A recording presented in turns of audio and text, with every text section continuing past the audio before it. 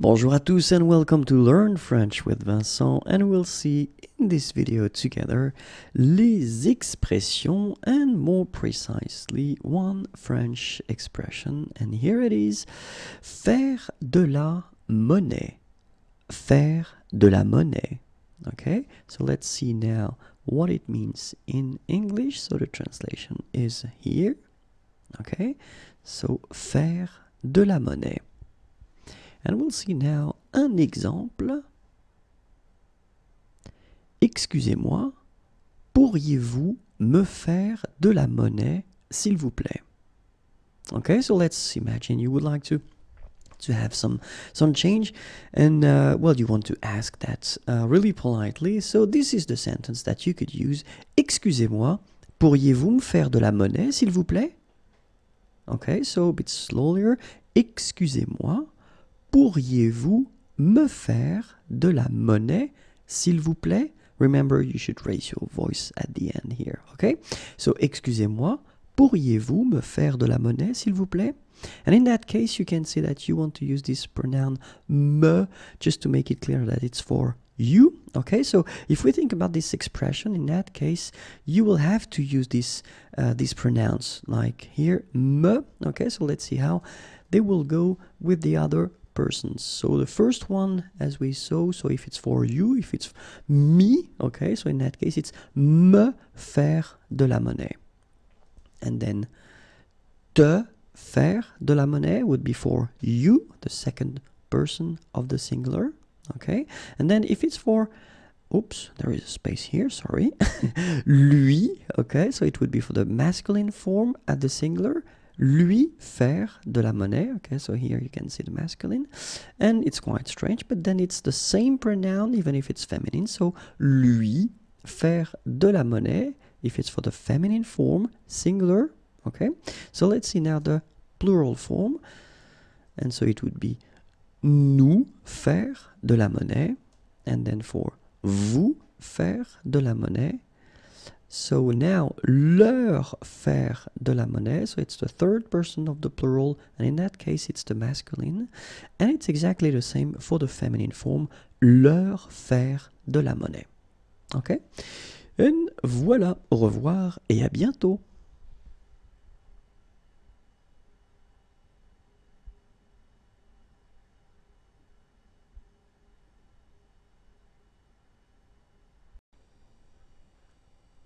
Bonjour à tous and welcome to Learn French with Vincent and we'll see in this video les expressions but then more precisely only one French expression. And here it is faire du lèche-vitrine faire du lèche-vitrine faire du lèche-vitrine okay and here is the translation in English. Faire du lèche-vitrine and let's see one example un exemple J'adore faire du lèche-vitrine avec ma mère. J'adore faire du lèche-vitrine avec ma mère. And of course, if it's a teenager, then this, sentence wouldn't be possible. but then let's assume this person is not a teenager, so j'adore faire du lèche-vitrine avec ma mère. So let's see now if you want to put this um, expression, faire du lèche-vitrine at the past tenses. And so I've been deciding to put nous, just to change a little bit. Nous avons fait du lèche-vitrine. So this is the passé composé. Nous faisions du lèche-vitrine. Imparfait. Nous venons de faire du lèche-vitrine. And this is passé récent. Nous avions fait du lèche-vitrine. And it's plus que parfait. Okay, so one more time.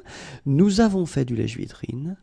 Nous faisions du lèche-vitrine, nous venons de faire du lèche-vitrine, nous avions fait du lèche-vitrine. And let's see few other tenses. And the first one is futur simple.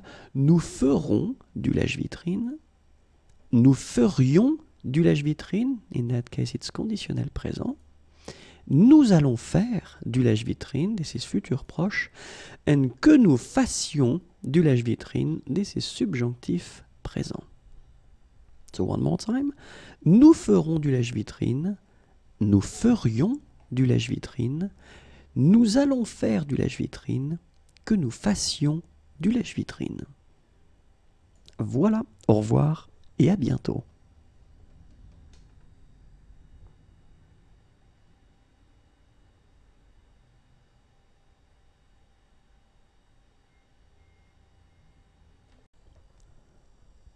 Bonjour à tous and welcome to Learn French with Vincent and we'll see in this video les expressions and then more precisely one French expression. And this expression is right here now, faire du saut à l'élastique. Faire du saut à l'élastique. Faire du saut à l'élastique. And here is the translation in English right here. Faire du saut à l'élastique. Let's see one example. Un exemple. Hier, j'ai fait du saut à l'élastique et j'ai eu la peur de ma vie. Hier, j'ai fait du saut à l'élastique et j'ai eu la peur de ma vie. Hier, j'ai fait du saut à l'élastique et j'ai eu la peur de ma vie. And let's see how it will go if we conjugate this expression. So, at the future simple form, it would go like Elle fera du saut à l'élastique. And then conditionnel présent would go like Elle ferait du saut à l'élastique. Futur proche, elle va faire du saut à l'élastique. And then subjonctif présent, qu'elle fasse du saut à l'élastique. Okay, so elle ferait du saut à l'élastique. Sorry, elle fera du saut à l'élastique. So it's the future simple form. Elle ferait, and in that case it's here, elle ferait du saut à l'élastique. This is le conditionnel présent. Elle va faire du saut à l'élastique. This is futur proche. Qu'elle fasse du saut à l'élastique. And this is subjonctif présent. Okay, so let's see now the past tenses.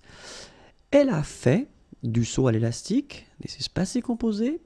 Elle faisait du saut à l'élastique. It's imparfait. Elle vient de faire du saut à l'élastique. Passé récent. Elle avait fait du saut à l'élastique. This is plus que parfait. Okay, so one more time. Elle a fait du saut à l'élastique. Passé composé. Elle faisait du saut à l'élastique. Imparfait. Elle vient de faire du saut à l'élastique. Passé récent. Elle avait fait du saut à l'élastique plus que parfait. I hope it was clear. Merci encore, au revoir et à bientôt.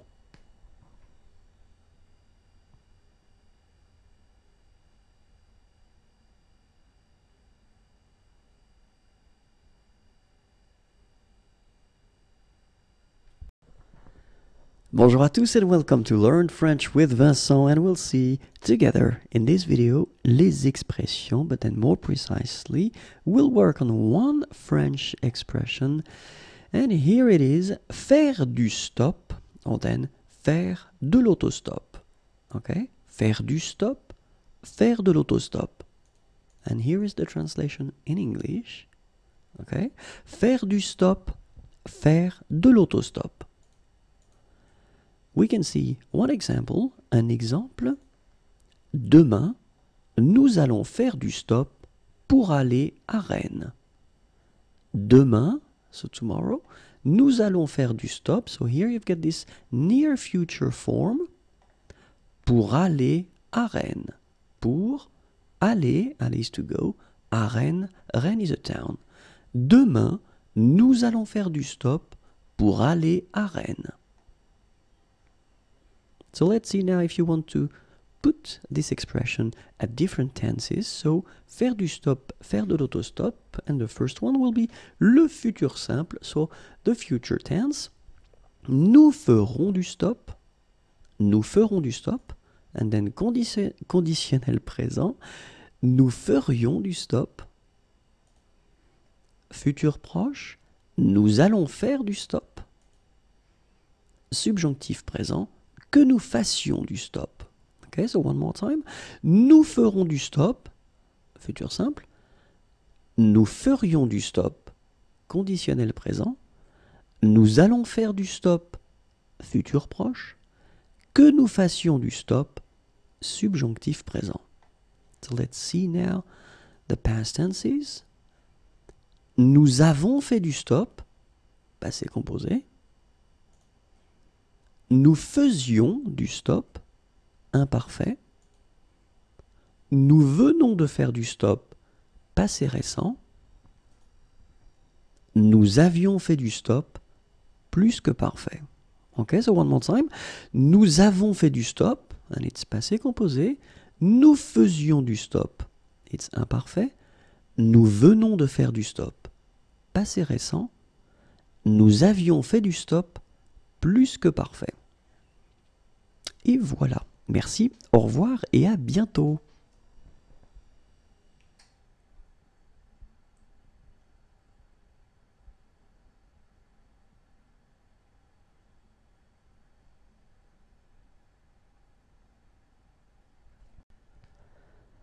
Bonjour à tous and welcome to Learn French with Vincent and we'll see together in this video les expressions but then as usual we will focus on one French expression and here it is faire faire quelque chose à quelqu'un. Faire faire quelque chose à quelqu'un. Okay so no mistakes here. You have two times the verb faire, okay? So the expression goes like that. Faire faire quelque chose à quelqu'un. So if you want the translation in English, it is right here. Faire faire quelque chose à quelqu'un. And let's see one example now. Un exemple. Il fait faire le travail à son ami. Il fait faire le travail à son ami. Okay, so you can see that the first faire actually is conjugated here. Okay, it's the present form. Il fait. And then you put the second verb, faire, at the infinitive form. Il fait faire le travail à son ami. Okay? And in many situations, well, we will try to avoid repeating um, words. And so this à son ami part that we call complément d'objet indirect can be replaced by a pronoun and it's right here, lui. So basically you've got the same sentence here. Il, lui, fait faire le travail. Il lui fait faire le travail. Okay, so let's see now how we could, well, put this expression at different tenses and then we'll put as well the pronouns. So the for the first example here, we've got the futur simple form, okay, and then the person will be me, okay, so it's for the first person of the singular. Il me fera faire le travail. So as usual, you can see that we only conjugate the first faire and then the second one stays here at the infinitive form. Il me fera faire le travail. Okay, so if we get the conditionnel présent form, and then for the second person, so for tu, okay, il te ferait faire le travail, and then for third person of the singular, and it's the masculine here, il va lui faire faire le travail, and it's the futur proche here, il va lui faire faire le travail, and then subjonctif présent third person as well, but then in that case it's the feminine. Well, actually, it's exactly the same pronoun, okay, but it is the feminine here. Qu'il lui fasse faire le travail. Okay? Qu'il lui fasse faire le travail. So let's see one more time. Il me fera faire le travail, futur simple. Il te ferait faire le travail, conditionnel présent. Il va lui faire faire le travail, futur proche qu'il lui fasse faire le travail, subjonctif présent. And so, and yeah, let's see now for the past tenses. Il nous avait fait faire le travail. And in that case, it's passé composé, okay? And then the pronoun here is for the first person of the plural. So, nous, oui. Il nous avez fait faire le travail. Here it's imparfait. Il vous faisait faire le travail. Okay, in that case, it's for the second person of the plural, vous. Passé récent, and it will be for the third person of the plural, so it will be il at the plural, okay, so masculine form, in that case you get the pronoun is leur. Il vient de leur faire faire le travail. Il vient de leur faire faire le travail. And the last one is for the plus que parfait form, third person of the plural, and it's the feminine here, leur, it's exactly the same masculine and feminine. Il leur faisait faire le travail. Il leur faisait faire le travail. Okay, so one more time. Il nous avait fait faire le travail. So maybe I should put the liaison here. Okay. Il nous avait fait faire le travail. Il vous faisait faire le travail? Il vient de leur faire faire le travail? Il leur faisait faire le travail? Okay, so I know it may sound uh, a bit difficult to make, um, and well, because the structure and the expression is quite strange to have two times faire. Okay, so faire faire. Um, keep in mind that well, you can always try to watch again the video if that if it, it's not clear, and uh, don't worry, it will come one day. It will come. Okay, have a great day. Au revoir et à bientôt.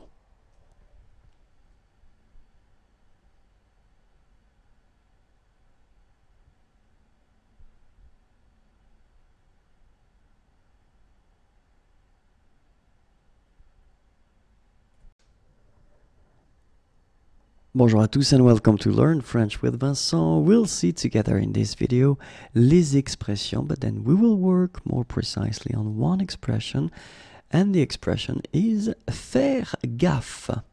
Faire gaffe. Faire gaffe. Faire gaffe. Here is the translation in English. Faire gaffe. And let's see one example, an example. Fais gaffe il y a une voiture qui arrive. Okay, so you can see that I've been putting this imperative form here. Fais gaffe, il y a une voiture qui arrive. Okay, so let's see now how we could construct this expression at different tenses. And the first one will be futur simple. Vous ferez gaffe. So I've been choosing only one person, so it will be vous for all the examples. Okay, vous ferez gaffe. And then for the conditionnel présent, it would go like vous feriez gaffe, futur proche, vous allez faire gaffe, and then subjonctif présent, que vous fassiez gaffe. Ok? Vous ferez gaffe, futur simple, vous feriez gaffe, conditionnel présent, vous allez faire gaffe, futur proche, que vous fassiez gaffe, subjonctif présent. And let's see now the past tenses.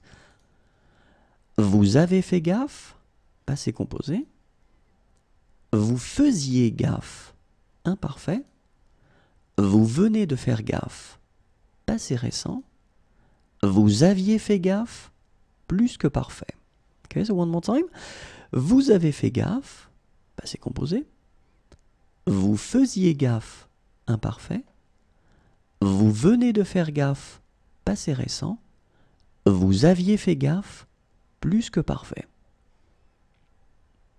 Voilà, au revoir et à bientôt.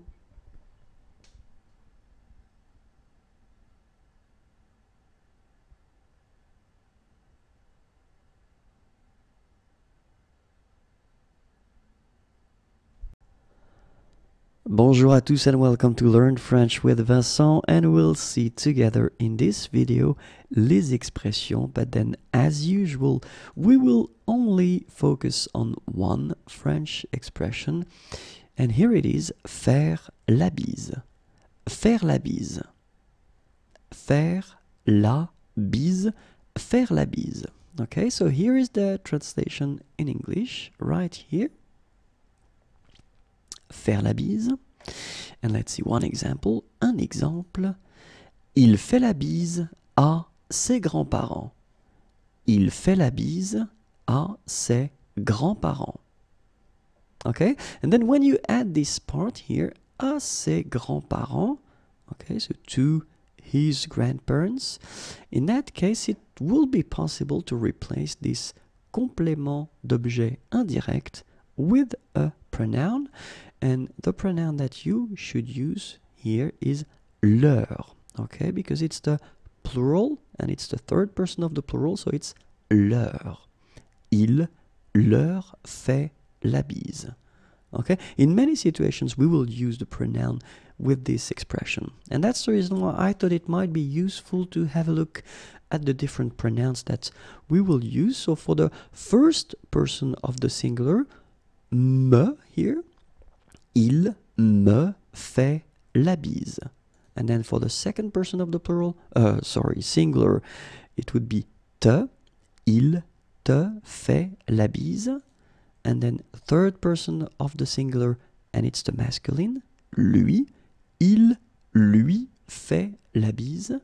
And then third person of the singular, but the feminine form, lui. So you can see it's the same pronoun here, okay? Il lui fait la bise. Okay, so for the singular, it's actually quite easy. It will go like that. Il me fait la bise. Il te fait la bise. Il lui fait la bise. Il lui fait la bise. Okay, so let's see now for the plural. Il nous fait la bise. Okay, so first person of the plural, nous. Il nous fait la bise. Then the second person of the plural, vous. Il vous fait la bise. Then third person of the plural, masculine, leur. Il leur fait la bise. And as we saw previously for the singular form, it's exactly the same. So the pronoun for the feminine and the masculine will be the same. Il leur fait la bise. Okay, so one more time. Il nous fait la bise. Il vous fait la bise. Il leur fait la bise. Il leur fait la bise. Merci beaucoup. Au revoir et à bientôt.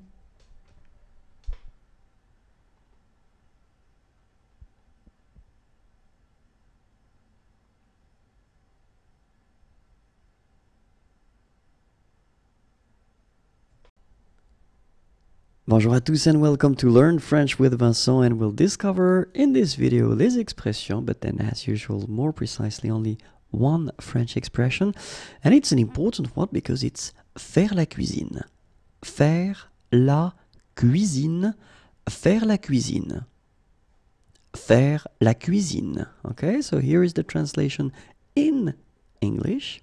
Faire la cuisine And then let's see one example. Un exemple. Vous faites souvent la cuisine? So it's a question. Vous faites souvent la cuisine? Remember to raise your voice a little bit at the end. Vous faites souvent la cuisine? Vous faites souvent la cuisine? Vous faites souvent la cuisine? Okay, so let's see how you will conjugate this expression at different tenses. And I thought it might be interesting to put the negative form for a change because it is, I mean, can be tricky to make, you know, this negative form. So that's the reason why. So we will see only negative forms. Ils ne feront pas la cuisine. And this is le futur simple. Ils ne feront pas la cuisine. And then conditionnel passé, euh, sorry, conditionnel présent, il ne ferait pas la cuisine. Il ne ferait pas la cuisine. So one more time, it's conditionnel présent, ok?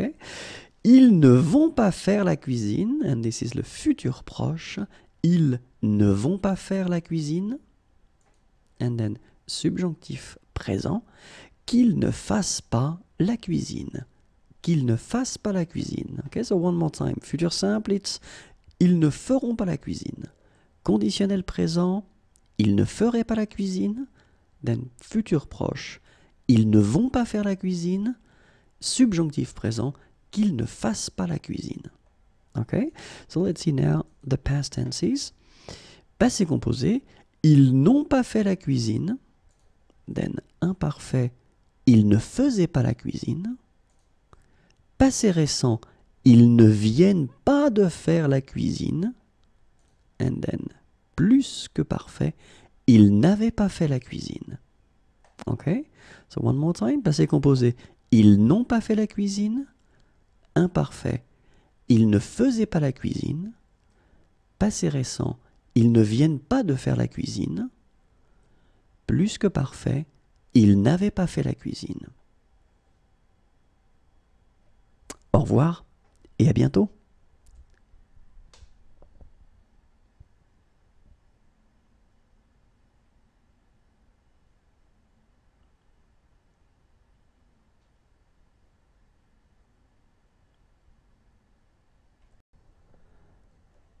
Bonjour à tous and welcome to Learn French with Vincent and we'll see in this video together les expressions françaises but then more precisely one French expression faire la grasse matinée or then faire la grasse mat faire la grasse matinée faire la grasse mat let's see the translation in English and it's right here faire la grasse matinée faire la grasse mat And then let's see one example. Un exemple. Demain c'est dimanche, je vais faire la grasse mat. Demain c'est dimanche, je vais faire la grasse mat. So you can see that I've been putting this sentence at the near future, le futur proche, okay? Because it's tomorrow. Demain, tomorrow, c'est dimanche, it's Sunday. Je vais faire la grasse mat. So let's see how you can conjugate this expression at different tenses. So for instance, if you want to put that at the futur simple, elle fera la grasse mat. Conditionnel présent, elle ferait la grasse mat. Futur proche, elle va faire la grasse mat. Subjonctif présent, qu'elle fasse la grasse mat. So let's see now the past tenses. Passé composé, elle a fait la grasse mat. Imparfait, elle faisait la grasse mat. Passé récent, elle vient de faire la grasse mat. And then plus que parfait, elle avait fait la grasse mat. Au revoir et à bientôt.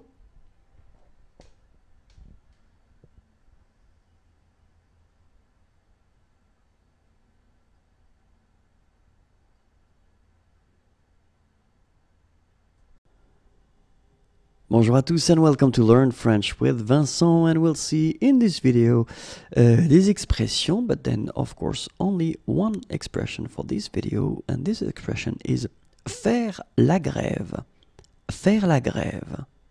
Faire la grève. Faire la grève. Some person might say that it's quite useful to know this word in France. I won't discuss about that, but then this is now the translation here in English, okay? So, faire la grève. Faire la grève. And here is an example. Un exemple, les employés de cette usine vont faire la grève la semaine prochaine. Okay? Les employés de cette usine, so usine is factory, vont faire la grève.